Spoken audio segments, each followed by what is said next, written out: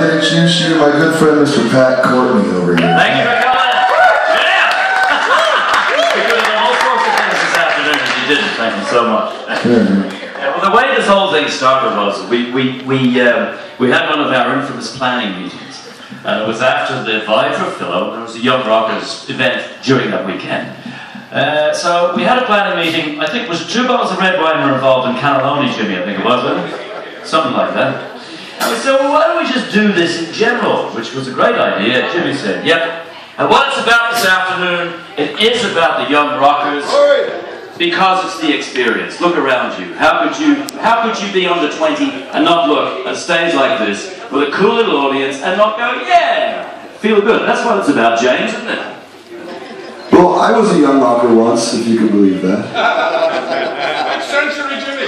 And uh, I just think it's cool. It's just cool, don't you think? Now, this young fellow's not on the list, but he played the young rocker, he played the vibe gig. Uh, his name's Ciaran, we call him Rocky, his stage name is Rocky. Alright, just so we're clear. To